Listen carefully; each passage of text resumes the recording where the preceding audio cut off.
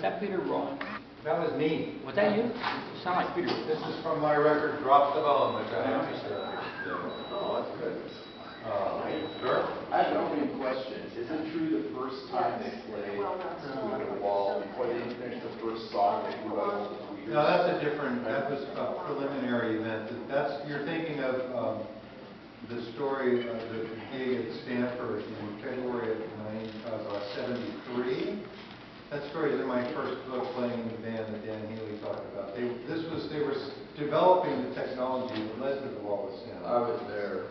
That show was, um, according to Dan, they blew all the tweeters out in the first song. Well, what we did was we tested the damn system with a, a graphic equalizer, and equalized the whole thing. We had the Stanford audience in the, in the city, we had a whole audience. And Then we exposed them to pink noise for, uh, I don't know, a reasonable length of time at full level or really high level before audience had to put up with the noise. And we were adjusting the, we had this multi-E, dual care, multi-EQ system that we just came out with. And uh, it had all kind, it's not a third octave equalizer, it's like a tenth octave. And it, it, uh, we, we tried to get it all done. And I remember talking to Healy afterwards, and he said, I said, well, did that really work out? We flattened the room and everything. He said, no, I had to still adjust it that. Even though we had the audience in there and everything was noise. Still. Was that bad show? I don't remember. I must have gotten there late because I don't think I ever, I heard the, uh. Oh, well.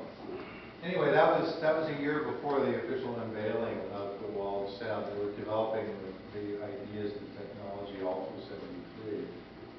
I got a question, just from my, uh, I went to a Grateful Dead concert, there were these two gigantic pyramids of speakers, is that the wall?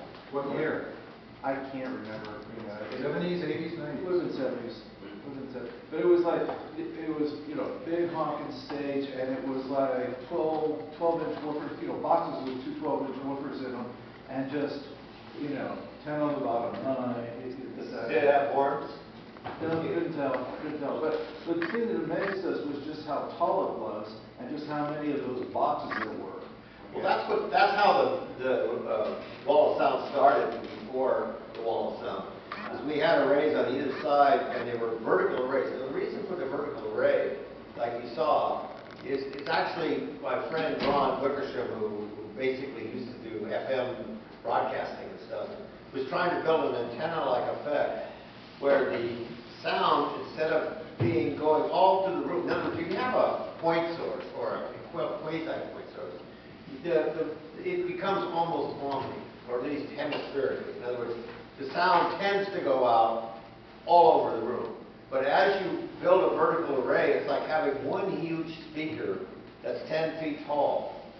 And everything's moving in unison, so it, it thinks itself as a speaker, a and it narrows the field. And instead of getting a, what they call a spherical wave, which falls off faster, you get better throw if you can do a cylindrical wave. In other words, we try to reduce the bottom and the top from, you know, because the top would just hit the ceiling and bounce back, and the other would bounce the floor. And then we, we would actually try to aim the stuff at the audience, to the back, so the people in the back could hear too. It's a line source. It's a line source, that's what we did. It's a line source. And, I- and the, the, the way